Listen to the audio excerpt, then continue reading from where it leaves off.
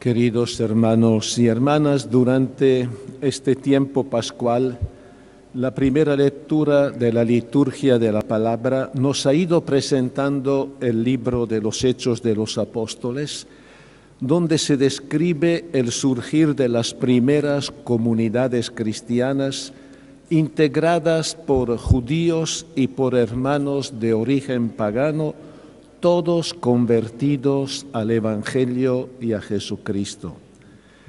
También nos hacen conocer los primeros pasos misioneros de los discípulos más allá de las fronteras de Israel.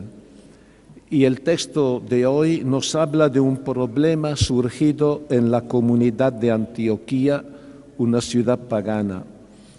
En esa iglesia naciente habían llegado unos cristianos integristas de origen judío que pedían a los paganos ya convertidos a Cristo que se hicieran judíos si querían salvarse.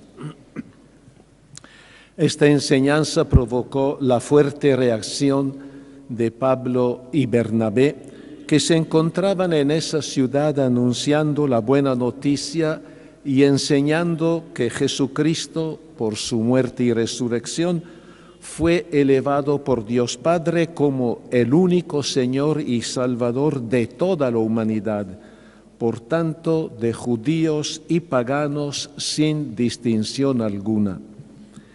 El dilema amenazaba con desvirtuar el misterio de la salvación y ponía interrogantes fundamentales. La salvación provenía de la observancia de la ley de Moisés o de la fe en Jesucristo. Había que integrarse en el pueblo de Israel o en la iglesia, el nuevo pueblo de Dios. La comunidad cristiana debía reducirse a un grupo nacionalista o convertirse en iglesia universal para solucionar definitivamente esa grave controversia, la comunidad decidió que Pablo y Bernabé con algunos de los otros fueran a ver a los apóstoles y ancianos a Jerusalén para tratar esta cuestión. Allá los apóstoles reunieron en asamblea toda la comunidad en un clima de oración y corresponsabilidad fraterna. Pablo y Bernabé expusieron el problema y después de una larga discusión con la participación de todos se llegó a la decisión de que no hacía falta hacerse judíos para ser cristianos. Y esta disposición fue plasmada en una carta la primera carta apostólica que inicia con una clara expresión de la libertad en Cristo.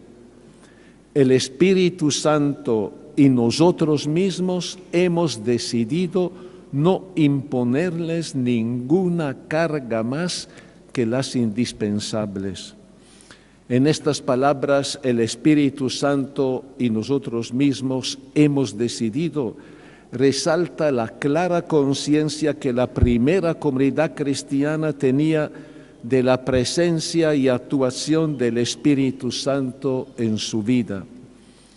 Y esa experiencia de la comunidad toda unida en la oración, asistida por el Espíritu Santo y bajo la guía de los apóstoles, se volvió en la Iglesia hasta el día de hoy el modelo de una comunidad participativa y misionera, donde sus miembros se sienten parte activa y caminan juntos como un solo pueblo de Dios.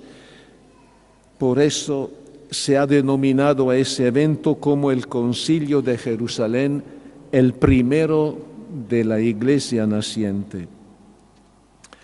La presencia y actuación del Espíritu Santo en la vida de la Iglesia es el cumplimiento de la promesa de Jesús a los apóstoles en la última cena, como hemos escuchado en el Evangelio de hoy.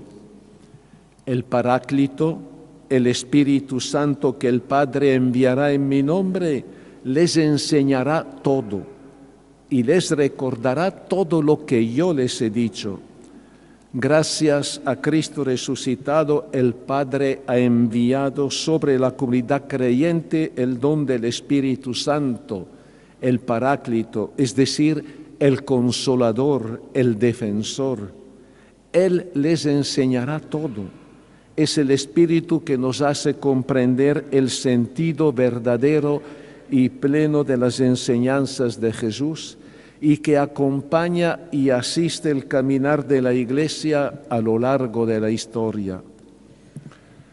Su presencia anima, guía y fortalece a los cristianos y a la Iglesia para que, para que sean fieles en el seguimiento a Jesús, a dar testimonio de la vida nueva y a anunciar el Evangelio con valentía y alegría en todo el mundo. Y la segunda lectura del libro de Apocalipsis nos habla también de la presencia iluminadora del Espíritu Santo con la imagen hermosa de la nueva Jerusalén que desciende del cielo en medio de resplandor. Es la figura de la iglesia, el nuevo pueblo de Dios que ya no necesita la luz del sol, porque brilla de la luz del Espíritu Santo y de Jesucristo, la lámpara que guía en su misión a la Iglesia en la historia de la humanidad. El Espíritu Santo no solo pero nos ayuda a comprender la palabra de Jesús, sino también a cumplirla. El que me ama será fiel a mi palabra. El Espíritu Santo entonces es aquel que nos mueve a obedecer y cumplir fielmente la palabra de Dios y a amarlo, pero sobre todo a dejarnos amar por Él y permitir que Él venga a habitar en nosotros, en nuestra vida. Iremos a Él y habitaremos en Él. Esta afirmación de Jesús nos sorprende y nos llena de alegría y esperanza. La morada de Dios ya no es un templo, un santuario o un espacio físico desde la resurrección de Jesús, la morada de Dios es toda la comunidad y cada discípulo que cree en Dios, que lo ama, lo escucha, lo acoge y que elige su palabra como norma de vida. Al don del Espíritu Santo, Jesús añade también el don de su paz. Les dejo la paz, les doy mi paz, no como la del mundo. Jesús nos está entregando su paz. La paz es de ustedes y está en ustedes. Su paz es plenitud de los bienes y de las bendiciones de Dios y alegría por su presencia permanente en la vida de la Iglesia y de los cristianos.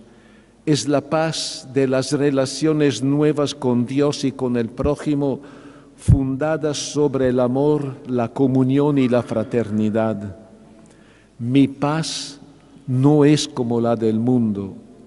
La paz de Jesús es bien distinta de la paz del mundo, que a menudo es fruto del equilibrio de fuerzas, de la dominación de unos sobre otros, de la violencia y de la guerra. Les dejo la paz, les doy mi paz este augurio de Jesús en este tiempo de campaña electoral en nuestro país se vuelve un llamado a todos los ciudadanos y en particular a los candidatos y a las distintas denominaciones políticas a dejar a un lado la guerra sucia, las calumnias, las mentiras, los insultos y los enfrentamientos y a actuar en el mayor respeto mutuo y en un clima democrático, pacífico, y acorde a la normativa que favorezca la decisión libre y consciente de los electores. Les dejo la paz, les doy mi paz. Es el augurio de Jesús que dirijo con afecto a todas las madres en las vísperas de su día. La paz es parte del talante materno. Las madres son llamadas a ser forjadoras de paz en su misión de engendrar vida, en ser el alma de la familia, en sembrar serenidad y esperanza en los ambientes de trabajo y en la sociedad, en cuidar y transmitir los tesoros de las culturas nativas y en dar testimonio vivo de su fe. Que este augurio de paz se transforme en el compromiso de toda la sociedad de valorar y defender el don de la maternidad ante el menosprecio de la cultura consumista y economicista y ante la violencia ciega de los feminicidios. Por eso elevemos sobre todo nuestra oración a Dios esta mañana con ánimo agradecido por el don de nuestras madres, para que las acompañe siempre y las colme con sus bendiciones. Amén.